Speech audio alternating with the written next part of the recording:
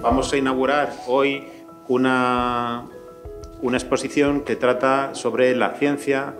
lo que se llama actualmente la diplomacia científica,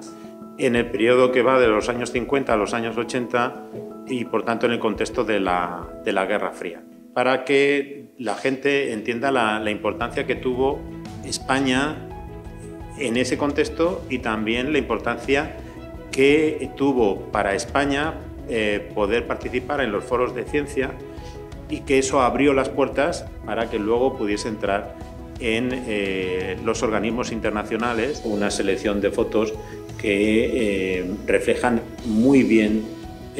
cuestiones como dónde y qué hacía España en energía nuclear, qué hacía en técnicas aeroespaciales, eh,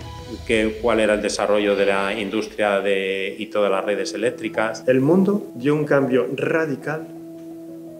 durante y después de la Segunda Guerra Mundial. En un momento determinado, eh, los dirigentes del franquismo también se dieron cuenta que por muy arcaicas que fueran algunas de sus ideas, la sociedad, como os decía antes, había pegado un salto hacia adelante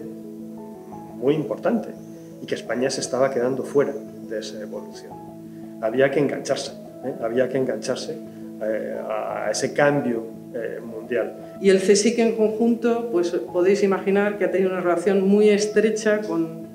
esa parte evidentemente de desarrollismo, nosotros específicamente en el sector agropecuario, donde se quiso dar un impulso desde los años 50 para su transformación en un sector que fuese pues, más importante para la, para la economía española. Actualmente, como sabéis, aquí en Castilla y León es uno de los motores de PIB, el sector agropecuario. Eh, todo empezó, arrancó con un primer contrato que firmó mi tío abuelo con el presidente de Renault en París el 12 de febrero del 51 y ahí se trajo no solo ese contrato que fue la primera piedra y, dio, y permitió ¿no? que se pudiera poner en marcha esa actividad industrial, sino que también en ese contrato se incluía el intercambio de tecnología, el modelo, el primer modelo que se fabricó en, aquí en FASA, el Renault 4 caballos. Ese intercambio de tecnología consiguió que en año y medio aquí en FASA se pudiera sacar ya el primer coche. Un hito para aquella época incluso